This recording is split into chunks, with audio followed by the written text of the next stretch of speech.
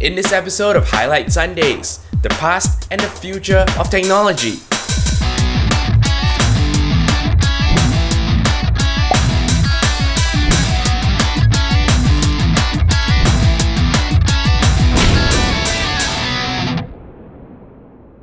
Hello and welcome back to Highlight Sundays. It is the sixth week of 2013, and here are your highlights. Our first article today comes from Gizmodo and it's entitled Scientists have made the first truly 3D microchip. Now, as you are probably quite aware, many microchips today are basically a printed circuit board. Data can be transferred front and back, left and right across the chip. But most of the time, everything is sort of contained within this 2D plane.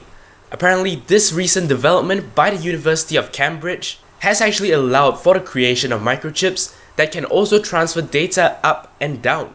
Now, this is a particularly significant breakthrough because right now, as you know, processor technology, especially in terms of clock speed, have actually come to a point of stagnation.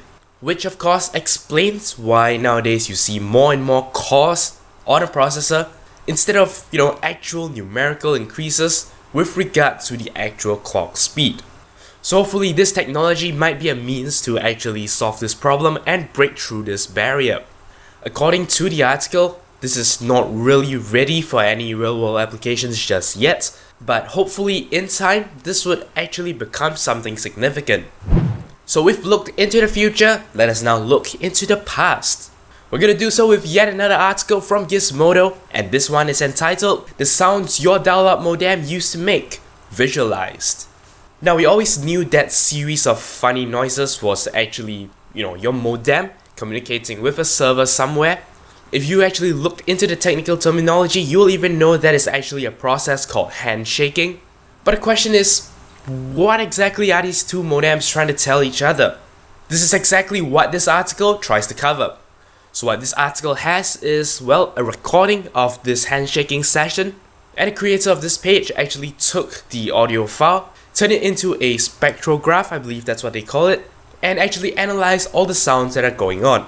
So I can't really describe much of it, so I do encourage you to actually take a look. It's very interesting to see how these two devices are actually communicating with each other. So yeah, check it out. Link in the video description. Now, as you know, I have reported on multiple occasions the hacking of Twitter accounts. Well, you'll be happy to hear that Twitter isn't just sitting there and letting it happen. According to this article from Ars Technica, Twitter is trying to do something. We're looking at an article entitled Twitter looks to add two-factor authentication to stop password hacks. Basically, according to this article, Twitter has actually released a recruitment call. They're looking for software engineers specialized in security, and they intend to set up something to protect your login information. Now, two-factor authentication isn't anything new, as far as I'm aware, at least Google has been using it for the longest time, and I'm sure there are other services out there where this is an option. How Google implements this is that your phone number is actually given to Google as well. When you log in, or when you try to do something like change your password, you may receive a message from Google, and that message will carry an authentication code that you will have to key in. So this is just an additional layer of security to prevent unauthorized access. I'm happy to see Twitter is doing something along these lines to protect the accounts, and hopefully we will hear less of compromised accounts this year. Our last article for today comes from Lifehacker. This should be particularly interesting to you if you like photography. In fact, this links you to a webpage that teaches you how to improve step 1 of taking pictures, which is the very essential step of seeing your subject and actually framing the image in your mind. Entitled Train Your Eye to Take Better Photos by Analyzing Your Reaction to Others, the article encourages you to actually frame your images in an intriguing way. Notice how your attention is drawn to a particular subject. If you can capture the essence of that, that is the part that draws your attention, that is how you get a good photo.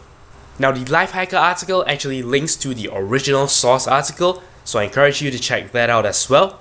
The source article, which comes from lightism.co.uk, actually lists a bunch of steps from 1 to 10, things that you should pay attention to.